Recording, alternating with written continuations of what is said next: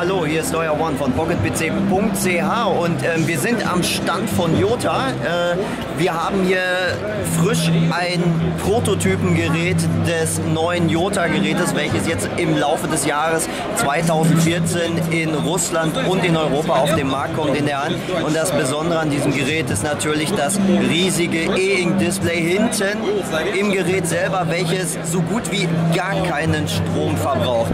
Die Specs sind sehr interessant. Es sind äh, High-End-Specs, ein Snapdragon 800 Prozessor, Quad-Core, Megahertz konnte man uns jetzt erstmal nicht sagen. 32 GB interner Speicher, 2 GB RAM. Das heißt, das Gerät lohnt sich definitiv. Es ist ein hochauflösendes IPS-Panel verbaut, ähm, 5 Zoll Display und ähm,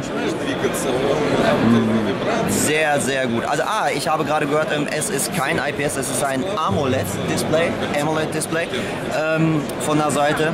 Also, es ist ein wirklich sehr, sehr schönes Gerät. Äh, Hauptkaufgrund wäre zumindest dieses E-Ink-Display, was wir gerade schon angesprochen haben. Auf dem könnt ihr nahezu stromlos äh, quasi Nachrichten anzeigen lassen. Der Grundgedanke dahinter ist, das ja, Hauptdisplay nicht sofort anschalten zu müssen.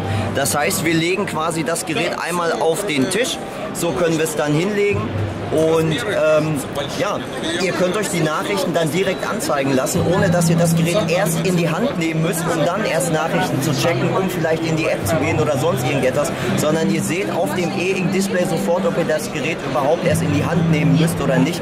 Das soll zumindest äh, im richtigen Leben abseits unserer Smartphones dafür sorgen, dass wir uns vielleicht noch ein bisschen mehr mit unserem Gegenüber im Restaurant unterhalten.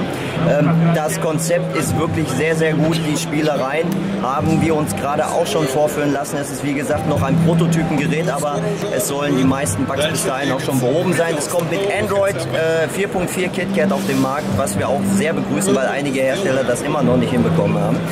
Und ähm, ja, im Folgenden werden wir ein Video anschneiden, ähm, das euch eine Vorführung des E-Ink-Displays hinten auf dem Gerät zeigt, wie ihr dort mit euren Twitter- oder Facebook-Nachrichten umgehen könnt. Das war euer One von pocketpc.ch. Okay, so you can put uh, different images on the backside. For example, I like this cat and I'm putting it and it's here on the backside. And you can change the pictures and it also connects to your Instagram account, uh, Facebook. You can download your own pictures, put your family, some laughter, people, etc. But you can also create your own dashboard uh, with a different set of widgets uh, on the backside. And let's say I uh, like this one and it will be here. So you can put weather, clock, some business meeting on the backside. Also, because of full touch, so let's see how you can also with Facebook.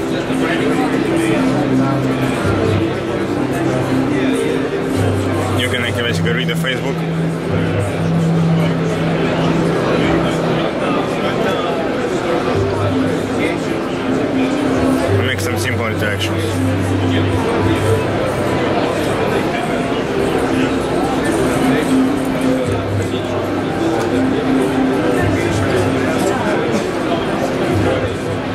You can also make some interesting stuff like uh,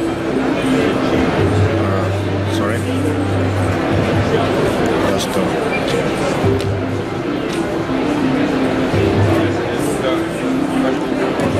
for example you're putting it there. Yeah.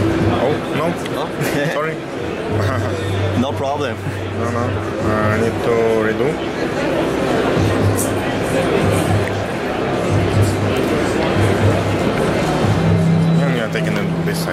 This is really, really cool.